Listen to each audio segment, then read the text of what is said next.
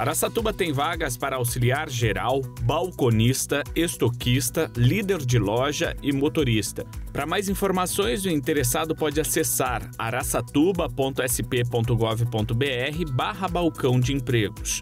Em Presidente Prudente tem oportunidades para operador de caldeira, motorista, mecânico de motor e suspensão, auxiliar geral e repositor.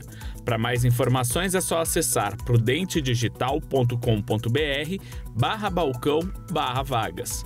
E São José do Rio Preto tem vagas para atendente, auxiliar de cozinha, motorista, mecânico e consultor de vendas. Para se candidatar a uma dessas vagas, o interessado pode entrar no site riopreto.sp.gov.br barra balcão empregos.